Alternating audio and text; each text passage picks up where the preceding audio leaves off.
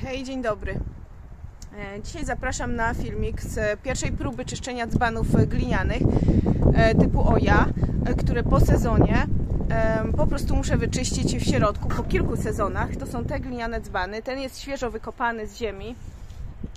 I przez te kilka lat zebrało się po prostu w tych dzbanach już troszkę syfu, mówiąc kolokwialnie e, i ja bym chciała troszeczkę to przeczyścić, bo zauważyłam, że dzbany już e, wolniej oddają wodę, trochę za powoli e, niż, niż tak jak tak jakbym, niż bym chciała. Podlinkuję tutaj też filmik do o co chodzi z dzbanami i do mojego eksperymentu, który robiłam, gdzie no, wyszło mi na to, że do, mogę zużyć do czterech razy mniej wody, podlewając za pomocą, nawadniając właściwie za pomocą tych dzbanów versus zwykłe podlewanie. Zrobiłam taki eksperyment na pomidorach. Ten film tutaj zapraszam do niego, jeżeli jest ktoś zainteresowany tymi dzbanami i właściwie po co się ich używa. E, no a teraz y, pierwsza próba takiego przeczyszczenia tych dzbanów i pokażę jak to będę robić. Zapraszam. E, żeby wyczyścić dzbany, e, potrzebne są mi dzbany. Żartuję. Będzie potrzebna mi woda. E, naleję wody do tych dzbanów.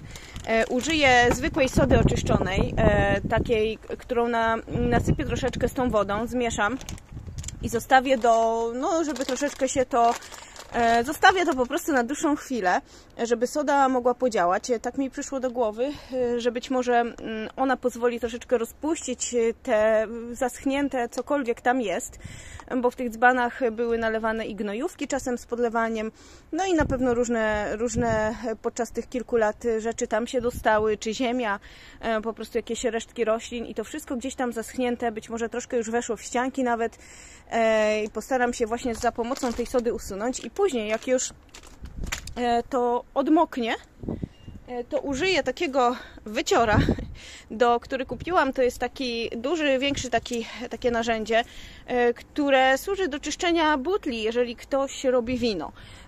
I zobaczę, jak ta szczotka się sprawdzi. Ona jest taka troszkę mocniejsza może niż te kuchenne. Tutaj się to się oderwie i będzie można troszeczkę też mechanicznie to wyczyścić, no ponieważ te dzbany mają podobną budowę, tam nie ma jak się inaczej dostać niż od góry i jest wąskie przejście i słabo nawet widać, co tam innego jest. Więc spróbuję tego użyć, może troszkę da się to zagiąć. E, no i tak, tak będę testować. Coś takiego mi przyszło do głowy. E, za chwilę naleję wody z sodą, odczekam i później będziemy czyścić.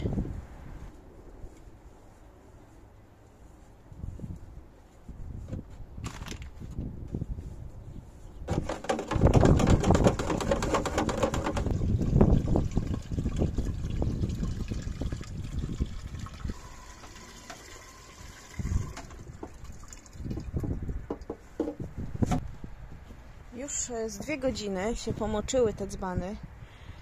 E, przy okazji po lewej stronie widać, ten po prawej był wykopany z ziemi, więc on był cały wilgotny od razu, ale ten po lewej widać, e, tam gdzie wlałam wodę, on był suchy, był w altanie. Widać jak on oddaje tą wodę, tą wilgoć, bo właśnie taka jest idea tych dzbanów. No i teraz będę próbować je wyczyścić mechanicznie. Mam nadzieję, że to się dobrze sprawdzi. E, no i zobaczymy.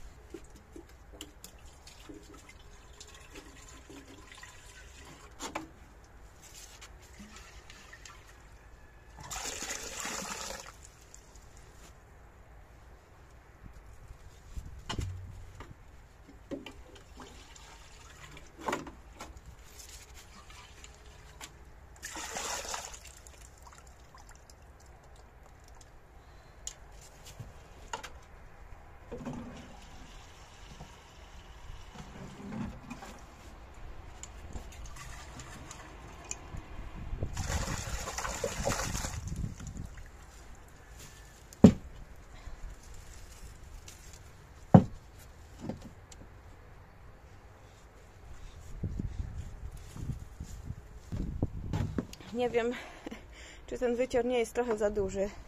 Trudno mi sprawdzić, czy to spełniło swoją rolę. Na pewno coś się trochę wyczyściło e, i odmokło. Zdecydowanie z tego e, świeżego dzbana więcej tam było brudu, bo to z tego ostatniego sezonu, a ten poprzedni nie był używany w sezonie. No i też to było widać. No nic, będę czyścić resztę dzbanów w ten sposób. Bardzo proszę podzielcie się, jeśli macie jakieś lepsze sposoby na czyszczenie takich właśnie dzbanów, bo wiem, że one są już coraz bardziej popularne. E, już można je kupić w sklepach, różne rodzaje. E, te, które mają takie szersze szyjki, na pewno łatwiej się czyści. E, te moje były robione tutaj na zamówienie przez takiego lokalnego ceramika, więc on zupełnie, no one mają funkcję, świetnie spełniają. W czyszczeniu są trochę gorsze, no bo właśnie nie można się za bardzo dostać do środka. Dajcie proszę znać, może macie jednak jakieś fajne na to sposoby albo pomysły, które mogę sprawdzić, bo, bo chętnie też sprawdzę.